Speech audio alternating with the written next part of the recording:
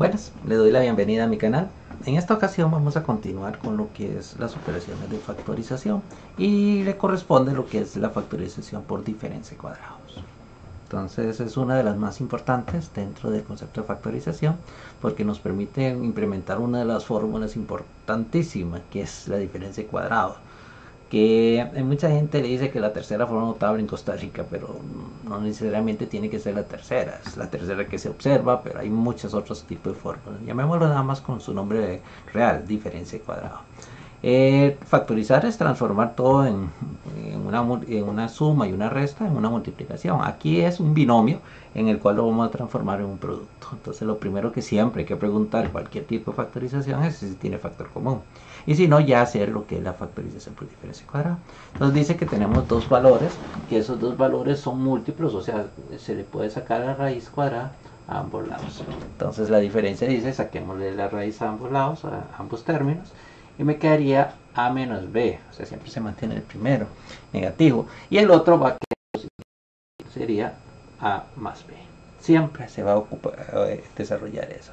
Profesor, esto da esto podríamos verificarlo haciendo el producto A por A a la 2 menos A por eh, más por más es más AB menos por más es menos B por A, BA y menos por más es menos B por BB a la 2 AB menos BB se va queda A la 2 menos B a la 2 así quedaría en este término. Puede ser hasta fracciones a la 2 sobre 9 menos 25, 49 hago B a la 4, casos como ese, o B a la 14 digamos, le saco raíz a ambos lados, de 4 es 2, este es un 2, ¿verdad? Sería A y la raíz de 9 es 3, menos raíz de 25 es 5, y la raíz de 49 es 7, y B, ojo, cuando yo tengo potencias distintas, o sea, eh, lo que hacemos es dividir la potencia, que sea múltiplo del índice 2, sería B7.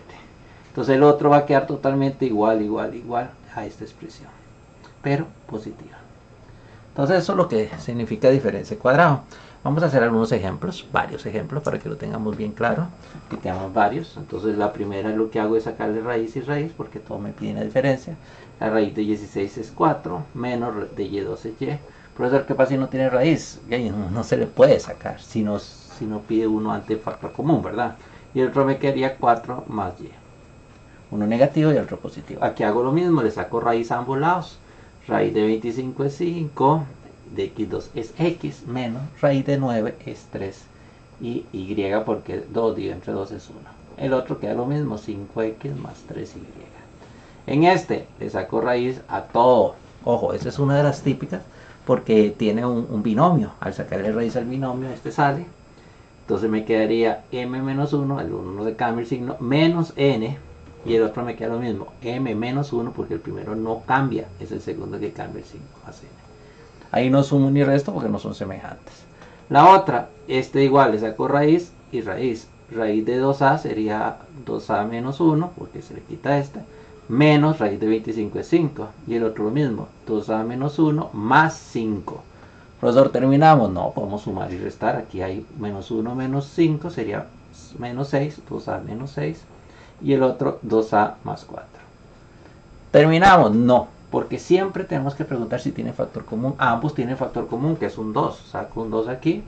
Entonces me quedaría a menos 3. Aquí saco un 2 también. Y me quedaría a más 2. Eso es importante. Dos números se pueden multiplicar para hacerlo uno solo. 2 por 2 son 4. A menos 3 por a más 2. Y ahí quedaría esa expresión. Bueno, pongamos aquí un techito para que sea un poquito ordenado. Este le saco raíz y raíz. También lo mismo. La raíz de 9 es 3 menos 2a b a la 2 c3. Vean lo que estoy dividiendo los exponentes. Y el otro me queda igual. 3 más 2a b a la 2 c3. Y ahí queda. La última. Y ahí divido. Eh, raíz y raíz. Me quedaría 1 menos x, y, z, w 1 más x, y, z, w. Ojo, el único que eliminé fue este 2 porque abarca todo lo que está dentro del paréntesis. Entonces ahí quedaría. Esta, raíz y raíz. Al eliminar este me quedaría a más b más c menos raíz de 100 es 10. Y el otro me queda lo mismo, a más b más c más 10. Y eso es todo. Ok, esta, raíz y raíz. Nuevamente, raíz de 9 sería 3a menos 25 es 5, b. Y el otro es 3a más 5b. La otra, raíz y raíz. Vea que le saco raíz a los números, se le saca raíz y a los exponentes se divide entre 2. Raíz de 36 es 6, mn menos raíz de 25 es 5. Y el otro me queda absolutamente lo mismo, 6mn más 5. Profesor, ¿y esa fracción? Y lo mismo, le saco raíz a toda la fracción, el de arriba y el de abajo. Raíz de 9 es 3. Raíz de 25, 5. De a la 2 es a. Menos raíz de 49, 7. Raíz de 36, 6. B. Recuerden, preguntar si tiene factor común antes. En estos casos, ninguno tenía factor común antes. Y el otro queda lo mismo, 3 quintos A más 7 sexto B. Esta, esta sí está un poquito más interesante, 8y2 menos 18. Ambos son múltiplos de 2, porque si le saco la raíz de 8 me da un montón de decimales. Entonces tengo que buscar, me da 2 puntos algo. Entonces son múltiplos de 2, saco un 2 a factor, me quedaría 4y2 porque 8 y 18, recuerden, se le saca mitad, 4, 9, o sea, múltiplo de 2. Y menos 18 es 9. Y ahora, profe, sigo sacando raíz, porque hay que, no necesariamente ya un método ya quedó, no, pueden haber varios métodos en una misma factorización. Entonces me quedaría 2 por 2y menos 3 por 2y más 3. La última, profe, esta es típica porque la gente le saca raíz de una vez y le da. No, tengo que preguntar si tiene factor común. Recuérdenlo. 16 y 100 son múltiplos de 2, serían 8, 50, múltiplo de 2, 4, 25. 2 por 2 son 4. Entonces el resultado sería 4x2 menos 25. Siempre, siempre, siempre factoricen por factor como si se puede. Y ahora ya le saco raíz y raíz. Raíz, el 4 se baja, 2x menos 5 y 2x más 5. Y ese quedaría todo el resultado final de eso. Recuerden, los ejercicios siempre, si quieren repetirlo, solo mm, traten de hacerlo, paran, hacen pausa en el video y lo ven el proceso, a ver si lo hacen bien.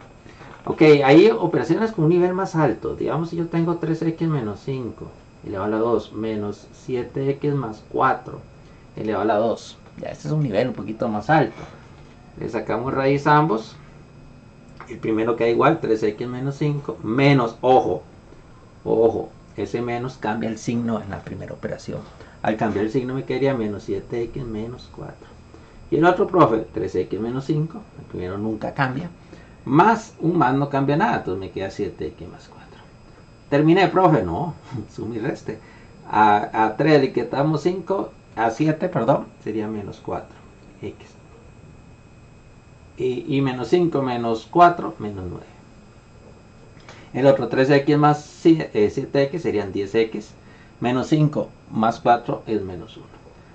Hay libros que no les gusta que quede negativo. El primero, entonces sacan el menos a factor. Me quedaría 4x más 9. Un menos 1, para que no sea tan feo el menos afuera. Y el otro 10x menos 1. Y eso es todo. Solo se le saca al primero. Repito, eso no es necesario. En algunos libros que les piden eso. Eh, yo creo que nos merecemos una manito hacia arriba porque lo logramos. Y como siempre digo, eh, siempre hay que tener una carita feliz porque la matemática es felicidad cuando se entiende.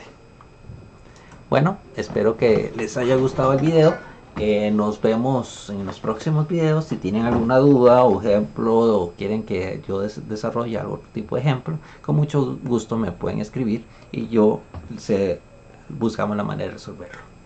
Nos vemos. Hasta pronto.